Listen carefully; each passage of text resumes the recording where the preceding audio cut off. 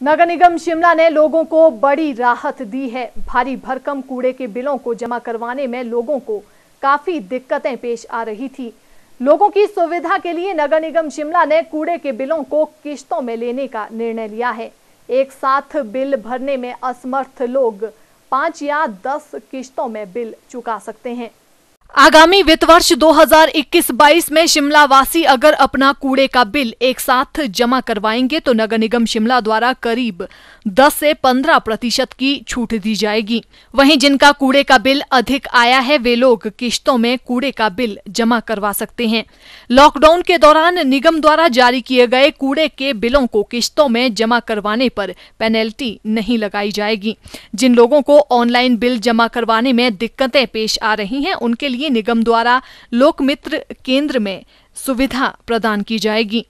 Media से बातचीत के दौरान नगर निगम शिमला के स्वास्थ्य अधिकारी डॉक्टर चेतन चौहान ने कहा कि लोगों को आगामी वित्त वर्ष 2021-22 का कूड़े का बिल एक साथ जमा करवाने के लिए निगम कार्यालय आकर आवेदन करना होगा। काफ़ी लोगों का कमर्शियल एस्टेब्लिशमेंट में लोगों का कूड़े का बिल काफ़ी ज़्यादा आ रहा है।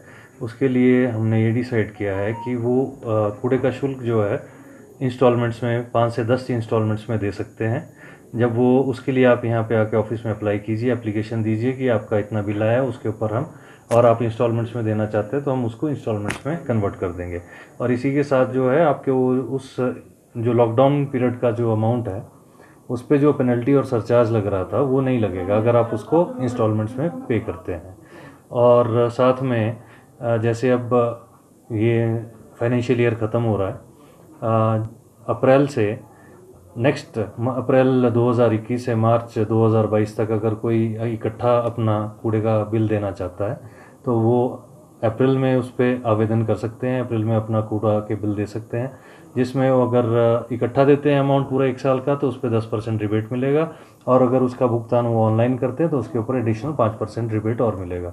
यानी कि आपके पूरे एक साल के कूड़े के शुल्क के ऊपर पंद्रह परसेंट आपको रिबेट दिया जाएगा। जिस तरह से लोगों को काफ़ी दिक्कत आ रही है कि ऑनलाइन कम वो बिल नहीं, का भुगतान नहीं कर पा रहे हैं तो इसके लिए हम जो है लोक मित्र केंद्र के साथ टाई अप करके कुछ ही टाइम में ये व्यवस्था जो है आपको हर लोक मित्र केंद्र पे भी उपलब्ध होगी। वहाँ पे भी आप अपना कूड़े का शुल्क जमा करवा सकते हैं। खराब हालत में पड़े ई टॉयलेट को लेकर पूछे गए सवाल के जवाब में डॉक्टर चेतन चौहान ने कहा कि जिन कंपनियों द्वारा ई टॉयलेट का निर्माण किया गया है, उन कंपनियों के इंजीनियर जल्द शहर का दौरा कर शौचालयों का निरीक्षण करेंगे। उन्होंने कहा कि आगामी समय में ई टॉयलेट की देखभाल व रख रखाव सुलभ इंटरनेशनल द्वारा किया जाएगा। जैसे हमारे टॉयलेट्स की बात है तो फरवरी माह से जो है, हमने ये टेंडर जो है सुलभ इंटरनेशनल को के साथ किया है, जो हमारे जितने भी कम्युनिटी टॉयलेट्स हैं पब्लिक टॉयलेट्स हैं यूरिनल्स हैं ई टॉयलेट्स हैं, इनकी सब रख रखवाव और देखभाल जो है अब सुलभ इंटरनेशनल करेगा। रही बात ई टॉयलेट्स की तो इनका जो हमारा जो कंपनीज़ ने इनको लगाया था ई राम और दूसरी कंपनी ने तो अभी वो उनके इंजीनियर्स आ रहे हैं, वो अब हमारे सुलभ इंटरनेशनल के साथ मिलके इन सब का निरीक्षण करेंगे और इनमें क्या क्या दिक्कत है और कैसे क्या क्या इसमें प्रॉब्लम्स हैं, उनको ठीक करेंगे। और उसके बाद हम आशा करते हैं कि सुलभ वहाँ पे जो है अपने लोगों को रखेगी और वहाँ पे जो भी आए उनको गाइड भी करेगी और साथ में इन मशीनों की निगरानी भी हो सकेगी। Bureau report, city channel, Shimla.